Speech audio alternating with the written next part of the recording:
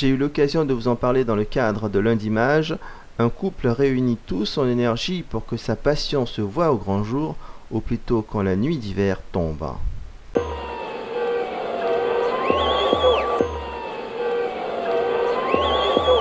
Durant de nombreux mois au courant de l'année, le couple organise et consacre une partie de son budget pour offrir ce plaisir aux nombreux passants. 10 ans quand même déjà. À peu près, ouais.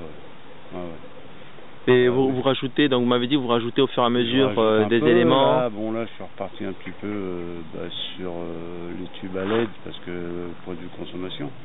Euh, parce oui. que EDF, ils sont contents avec moi. J- Justement, justement, pour, durant un mois, euh, Ouais, vous, voilà, vous- justement, vous faites, euh, vous augmentez votre puissance de compteur à cette période-là? Non, parce qu'avant on pouvait le faire sur une période de deux mois et refaire descendre le compteur. Maintenant, à l'heure actuelle, on, on peut plus. D'accord. Donc, bah, c'est, suis au maximum. Et euh, vous, vous cherchez des sponsors pour, pour ça, non, que, euh, Non, à mon avis, ça serait bien que j'ai un sponsor EDF. Ça serait...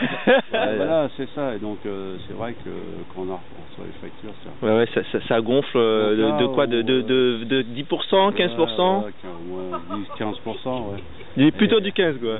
Plutôt du 15. Donc, c'est vrai que l'année dernière, on avait dit, bon, bah, j'arrête un peu parce que D'accord. c'est vrai que c'est un coût. Et puis, bah, tous les gens qu'on rencontre nous disent, ah, quand est-ce que tu fais ta maison, ceci, cela, on va venir voir avec les petits-enfants et tout. Bon, voilà. D'accord. Donc, cette année, on a dit, bon, bah, tant pis, on, on voulait pas faire cette année. Puis, bah, Vous avez, vous, êtes demande- À la, laissé. demande, à la demande un peu de tout le monde, bah, on, D'accord. va. Euh, votre motivation pour, pour faire ça Oh, comment vous avez décidé de le faire euh, Euh, voyant euh, bah, l'ampleur que ça prenait et puis que les gens venaient voir et, et que même pour les enfants quand ils vont à l'école ou n'importe le matin ils passent voir ou même à 4 heures enfin à 6 heures ils passent voir parce que c'est allumé et tout donc ça m'a motivé un petit peu de jour en jour un peu plus quoi D'accord. Et vous, vous avez commencé à faire ça depuis depuis quelle année environ ou depuis combien de temps? Euh, une dizaine d'années quoi En effet, depuis une dizaine d'années, Monsieur et Madame Penta à la résidence Les Cigales à Courcelles-sur-Seine dans l'Eure en Haute-Normandie manipulent des guirlandes de toute nature.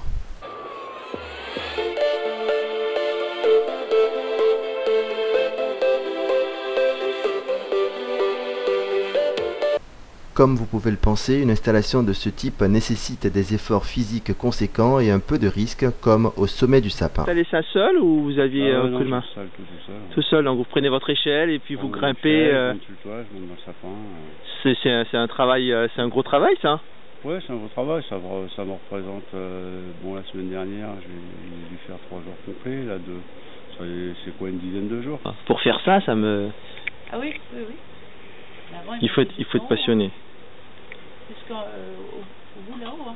Ah ouais, là après il faut faire venir les grues. euh, Non, il montait tout seul. à Ah bon? Ah oui, oui. Après ça devient dangereux par Ah bah c'est contre. pour ça, la dit, tu montes pas là-haut. Ça devient dangereux après. Ah, c'est dangereux. 20 ans. Ah ben non.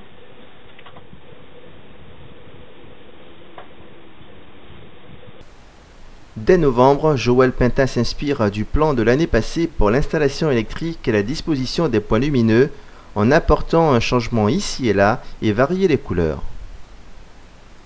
Une dizaine de jours au total. Ouais, Parce que là, disons qu'au début, j'installe tout. Et puis après, bah, je fais mes raccordements, mes branchements. euh. Après, j'ai tous mes boîtiers électriques. euh. Oui d'accord, oui, vous avez installé votre, euh, voilà. votre boîtier. Alors au début que j'ai commencé, j'avais que celui-ci. Et puis bah, au fil des années, euh, il n'y avait plus de place. Quoi. ah oui, tout à fait. Donc euh, bah, j'en ai refait un deuxième là. Ah oui d'accord.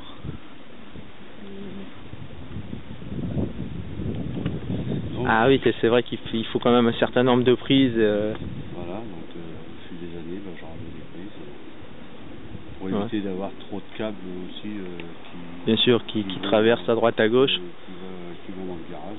Ah ouais. Bien étanche, bien, bien protégé. étanche, avec disjoncteurs et tout. Euh, j'avais trouvé des, des grands rideaux euh, couleur de rose un peu, euh, donc je voulais changer. Donc ça va.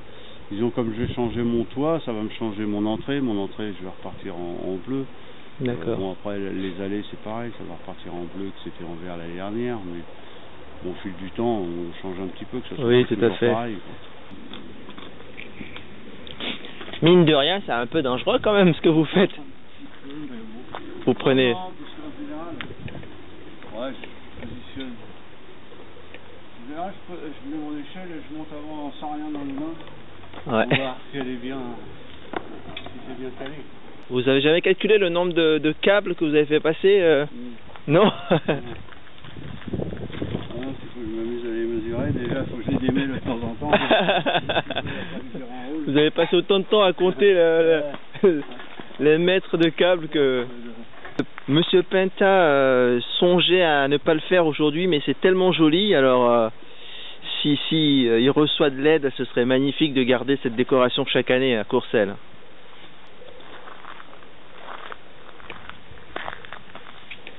Je finis toujours, je finis toujours par le centre parce qu'après euh, tous mes raccordements sont Ouais, vous finissez, en, dessous de mon sapin. donc vous finissez toujours au pied. Quoi. Comme ça, après c'est protégé, je couvre mes, mes prises, mes boîtiers. Et votre sapin à quel âge, vous le savez? Ah, mon sapin, euh, il a, ça fait. euh, bah, il y a 25 ans. 25 ans. Parce que je l'ai planté, euh, on l'a planté quand, quand on est arrivé. Ah ouais. C'était un, bah, un sapin de Noël, un petit sapin de Noël avec racines.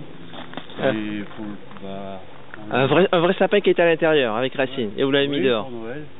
Ouais. Et puis, euh, Maintenant, c'est un grand sapin d'extérieur. ouais, un grand sapin, et là, il commence à faire haut. Et, euh, Le travail ne s'est pas opéré seulement dans le jardin, on va voir ça tout de suite après.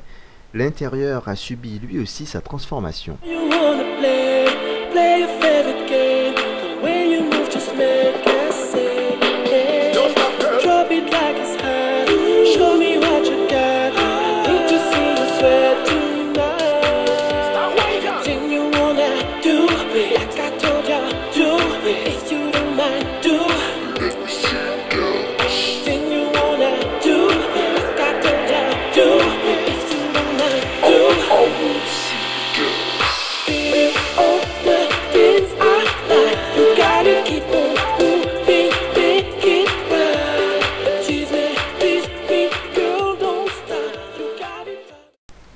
Malgré la passion qui anime Joël Penta et son épouse, le budget en guirlande et en électricité est conséquent et devient très difficile à réunir.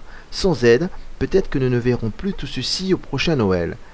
Alors soutenez Joël, sa boîte à lettres est disponible.